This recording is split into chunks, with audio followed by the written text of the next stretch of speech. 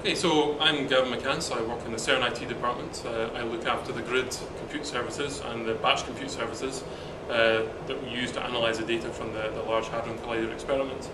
So we're here at CERN with the Puppet Lab guys today. Um, so what does CERN do? It's involved, it's involved in fundamental research.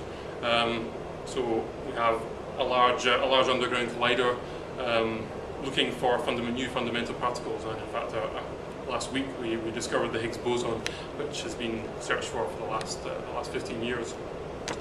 Um, so the problem we have today is for the last 10 years at CERN we've been managing our compute infrastructure with our own scripts uh, and, and, our own home developed tools and we're now in the process of, uh, of expanding our computing resources because LHC physics requirements are are quite heavy on compute and we need to buy a lot more computers.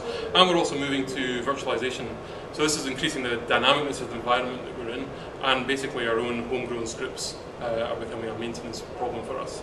So six months ago we started looking outside for open source tools to help manage uh, our infrastructure and we settled on Puppet.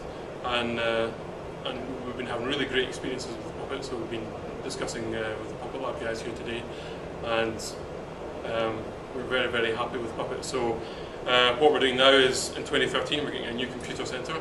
Um, expanding our computing resources and that centre will be entirely Puppet managed and over the next two years we'll be migrating our production infrastructures, uh, so the, the, the, the, computers here to, uh, to, to Puppet as well. So we're really looking forward to, to, to working with Puppet.